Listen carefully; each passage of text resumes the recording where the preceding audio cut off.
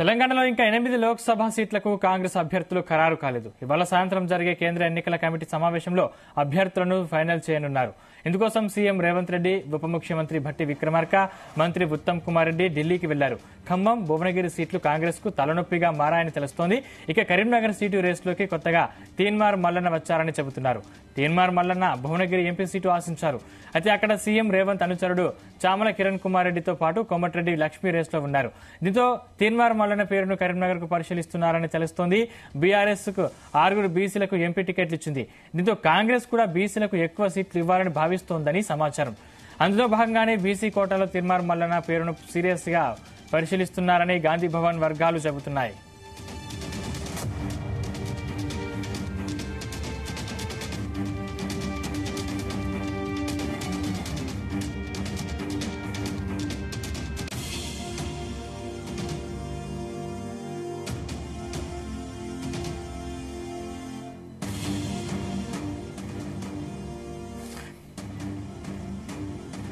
తెలంగాణలో ఇంకా ఎనిమిది లోక్సభ సీట్లకు కాంగ్రెస్ అభ్యర్థులు ఖరారు కాలేదు.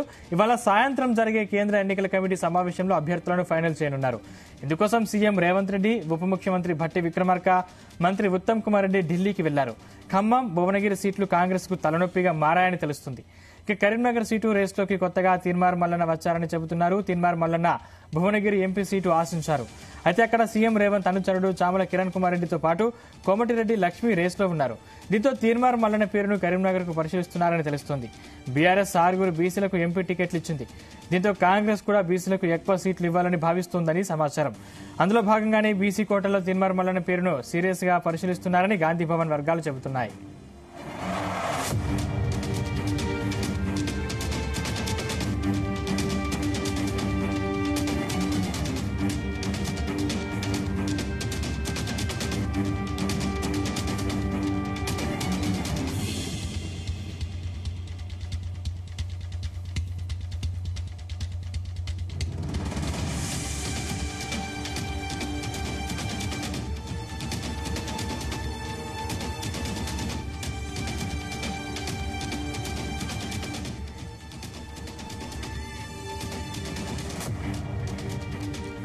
తెలంగాణలో ఇంకా ఎనిమిది లోక్సభ సీట్లకు కాంగ్రెస్ అభ్యర్థులు ఖరారు కాలేదు.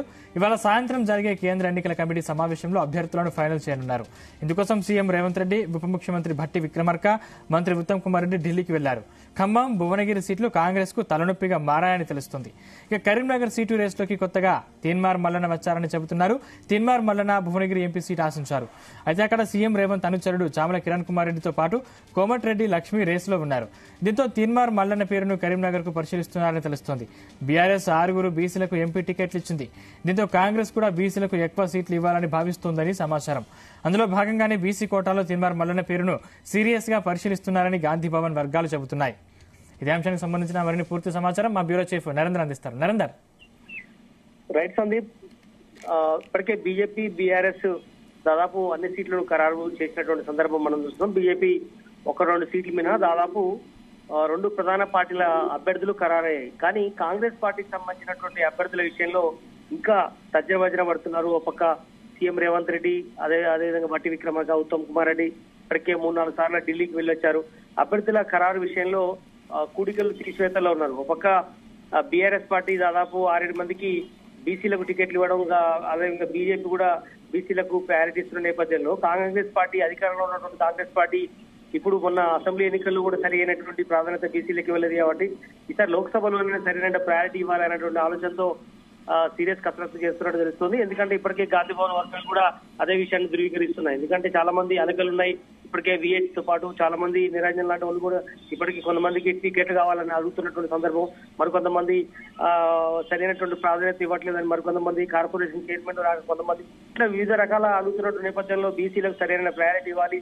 అన్నటువంటి ఆలోచనలు ఉన్నాయి. అందుకనే ఇప్పుడు ప్ర- ప్రకటించేటువంటి లోక్సభ సీట్లు ఇంకా ఎనిమిది కాకున్నాయి ఆ ఎనిమిదిట్లో కనీసం ఎక్కువ మందికి ప్రయారిటీ ఇవ్వాలన్నటువంటి ఆలోచన చేస్తున్నట్టుగా తెలుస్తుంది. ఇందులో భాగంగానే భువనగిరి విషయంలో చాలా తర్జన పడుతున్నారు. ఖమ్మంతో పాటు భువనగిరిలో చాలా ఇష్యూ పెద్దగా అవుతుంది. ఎందుకంటే అక్కడ ఇప్పటికే చామల కిరణ్ కుమార్ రెడ్డి రేవంత్ రెడ్డి అనుచరుడిగా ఉన్నారు.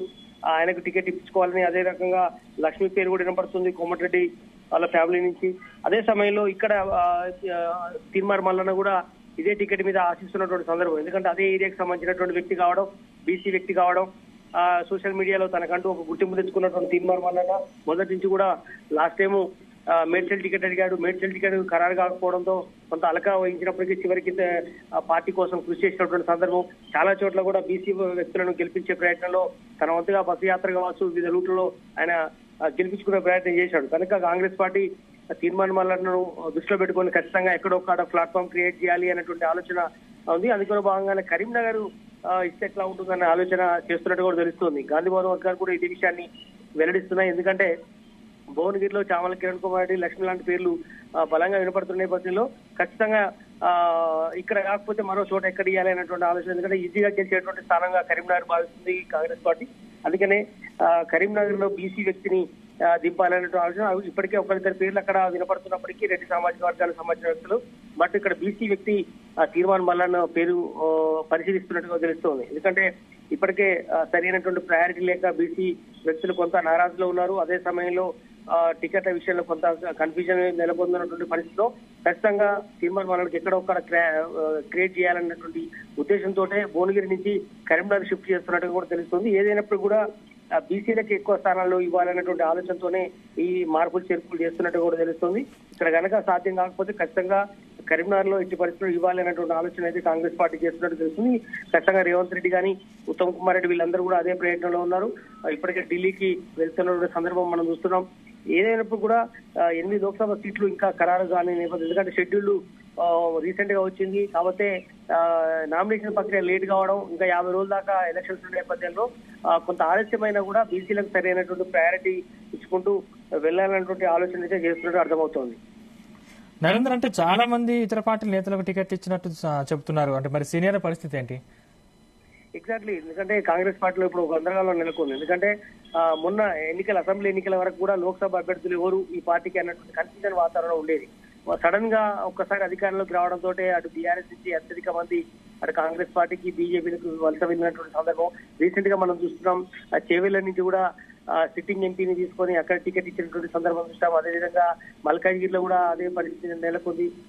అదే సమయంలో మీ ఇతర చోట్ల కూడా ఇదే పరిస్థితి వస్తుంది సికింద్రాబాద్లో కూడా దారా నాగేందర్ ఎమ్మెల్యే ఇట్లా చాలా మందిని కూడా అకామిడేషన్ చేస్తూ వస్తుంది. కానీ అప్పటికే అక్కడ పాతకపోయినటువంటి పాతుకుపోయినటువంటి ఎవరైతే కాంగ్రెస్ లీడర్లు ఉంటారో వాళ్ళకు టికెట్ ఇవ్వలేదనేటటువంటి ఆ, కొత్త వారికి అవకాశం ఇస్తూనే పాత వారిని సరైనటువంటి గుర్తింపు ఇవ్వాలి. అదేవిధంగా వచ్చిన వచ్చిన ఇతర పార్టీ నుంచి వచ్చిన వాళ్ళకు కూడా గుర్తింపు ఇస్తూనే ఉన్న వాళ్ళని మాత్రం ఎట్టి పరిస్థితుల్లో కూడా విస్మయం చేయకూడదు అనేటువంటి వాదన అయితే కాంగ్రెస్ పార్టీలో వినిపిస్తుంది. ఇదే వాయిస్ని చాలా మంది కూడా బీజీ వ్యక్తులు కావచ్చు లేదంటే కొంతమంది సీనియర్ లీడర్ కావచ్చు తన వాయిస్ ద్వారా చెప్తున్నటువంటి సందర్భం అయితే మనం చూస్తున్నాం. ఖచ్చితంగా పార్టీ అధికారంలో ఉంది కాబట్టి ఏదో ఒక పదవి భవిష్యత్తులో ఇస్తాము. ఫస్ట్ అయితే మనకు లోక్సభ సీట్లు చాలా ఇంపార్టెంట్. రాహుల్ గాంధీని ప్రధానమంత్రి చేయాలన్నా లేదంటే కాంగ్రెస్ పార్టీ ఇక్కడ మళ్ళీ పూర్వవైభవం సాధించాలన్నా కూడా కొంత రాజీ పడాల్సిన అవసరం ఉందని కూడా ఇప్పటికే రేవంత్ రెడ్డితో పాటు మిగతా నేతలందరూ కూడా దిశానిర్దేశం చేస్తున్నారు. అందుకు అనుగుణంగా కొంత అడ్జస్ట్ అవుతున్నటువంటి వాతావరణం అయితే చూస్తున్నాం. కొంతమంది మొన్న అసెంబ్లీ ఎన్నికల్లో టికెట్ రాని వాళ్ళు కూడా కొంతమందికి కార్పొరేషన్ పదవులు ఇచ్చినటువంటి సందర్భాన్ని మనం చూసాం కాబట్టి